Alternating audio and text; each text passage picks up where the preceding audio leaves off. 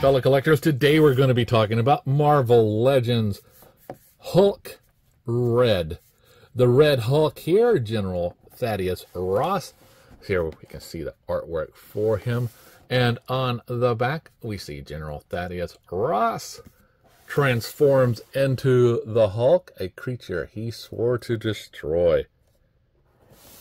So, with the new series coming out of Captain America, we see the Red Hulk will be Harrison Ford. Very cool timing on this. Now, the Target has re released these coming out, and if you're lucky enough to find them in the store somewhere, count yourself very lucky because these guys are popping off shelves fast as they get there. So let's get it on the scale and see how much it weighs. Now the Hulk coming in at one pound, 5.8 ounces. So let's get it off the scale and out of the box. Hey, open, damn it, open! Okay, now that we have him out of the box, here are his accessories. See the extra two hands. So yeah, this guy is very, very big. Coming in at eight and a half inches tall, the Red Hulk here, Thaddeus Ross. Looking very, very tough.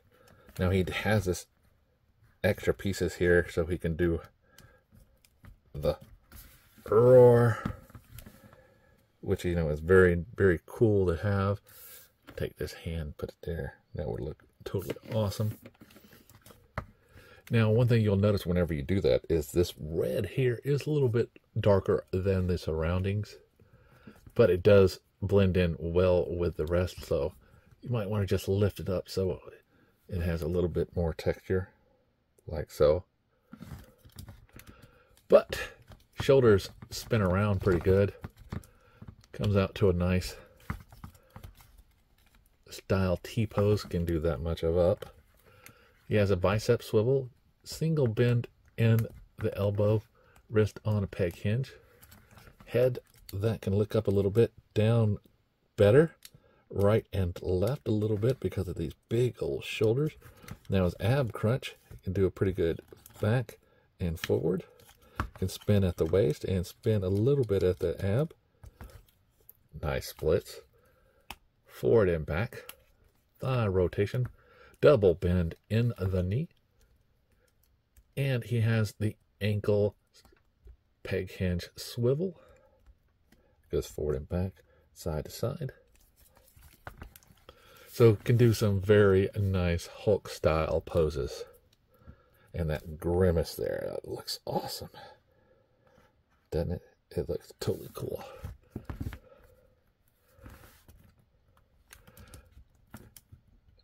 Yeah, it definitely looks awesome. Now, let me straighten them up a little bit more. And we'll take the Marvel Select version that re was reissued, and we see the height difference here. And yeah, they're different versions, and uh, they are different uh, companies.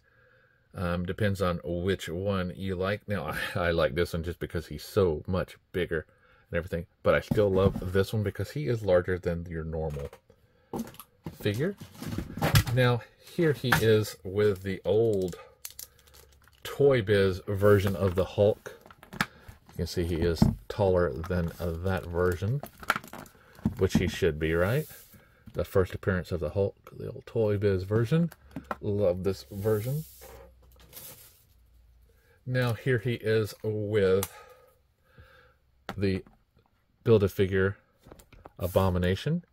See, he is taller than that version, which is very cool. Very, very nice.